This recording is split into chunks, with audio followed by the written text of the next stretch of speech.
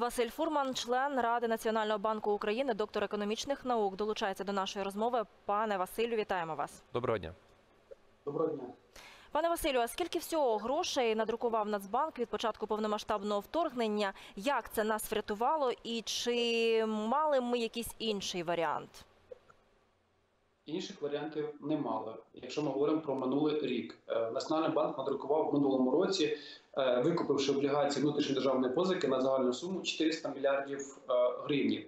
Треба зазначити, що до великої війни у нас навіть була така пряма норма, яка забороняла нашому національному банку України викуповувати напряму е, облігації внутрішньої державної позики, даючи гроші бюджету для фінансування державних видатків. Але всі ми пам'ятаємо про те, що було в лютому, в березні, в квітні, там червні, ну і взагалі дуже складний минулий рік.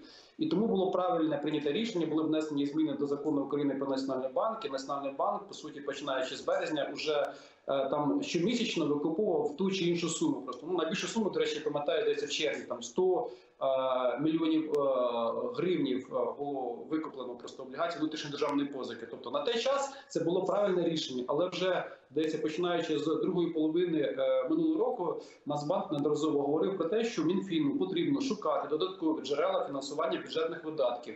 І потім вже ми бачимо, просто що коли формувався бюджет 2023, то е, там вже звучали вже заяви і від міністра фінансів, і від інших державних чиновників про те, що Нацбанк не буде приймати участь в монетизації бюджетних видатків. Це величезний плюс для всіх, для українських гривні. Для тому, що ну вона буде більш стабільною для інфляції. Інфляція буде зменшуватися. А уряд е, провів е, величезну роботу, і взагалі тут не лише уряд, і президент України, просто і Нацбанк, і Мінфін, тобто щодо пошуку ресурсів для фінансування дефіциту державного бюджету в цьому році. Е, Він нагадає, складає більше ніж 40 мільярдів доларів. І проведена робота з нашими партнерами. Це і держави, наприклад, там США це близько 10 мільярдів доларів. Це Європейський Союз це там е, близько 18 мільярдів євро. Зараз е, я надіюся, що протягом там найближчих неділь днів ми отримаємо позитивне рішення від ради директорів міжнародного валютного фонду. У нас буде нова програма розширеного фінансування. Тобто, також ми чули неодноразові заяви від інших держав, там е, Канади, Норвегії, Японії, які ту чи іншу суму виділяють там е, на відновлення нашої держави. Тобто проводиться величезна робота. Ми маємо так само, як і в зброї, е, величезну фінансову підтримку, бо тримати надійну фінансову оборону надзвичайно важливо. Якщо е, завдяки цій обороні, завдяки ми маємо сьогодні оту стабільність, до речі, яку ми маємо. Тобто, давайте про економіку. Тобто, економіка стабілізувалася, і якщо ми говоримо про цей рік, вона буде.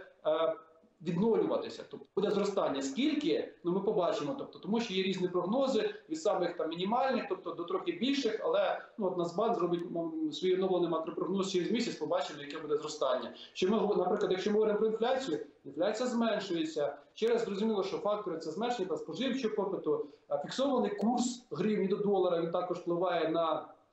Е, Зменшення інфляції, це і стабільні тарифи, наприклад, Е, значний торгівельний дефіцит відкривається значною міжнародною фінансовою допомогою. Тобто, і сьогодні, незважаючи на те, що Нацбанк в середньому, наприклад, щомісяця, ну якщо говоримо про останні місяці, витрачає там близько 2,5 мільярдів доларів е, для по суті, ну як для гривні, тому що імпортерам потрібний долар, наприклад.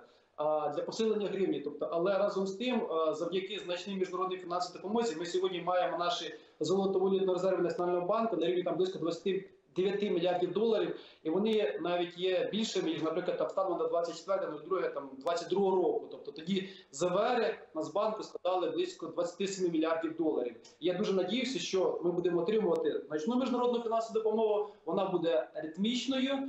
І е, далі, е, ну скажімо так, ті макропоказники, які сьогодні в нас є, вони будуть просто покращуватися протягом цього року.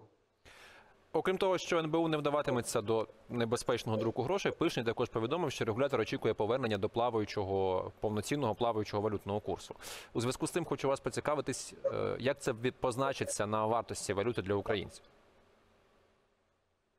Дивіться, е, Нацбанк до війни проводив політику плаваючого курсоутворення. Далі 24.02 минулого року була змінена валютна політика. У нас ми зараз політика фіксованого курсу.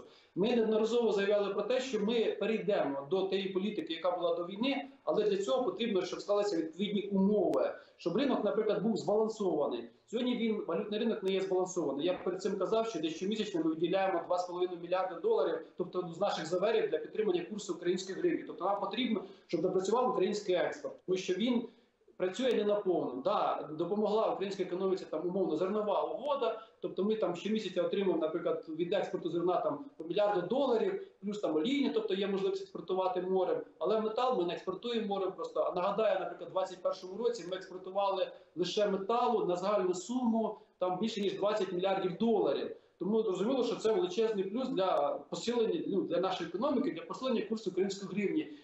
Нам потрібно, щоб ще раз запрацював український експорт наповну. Другий фактор, наприклад, нас нам потрібно чітке розуміння.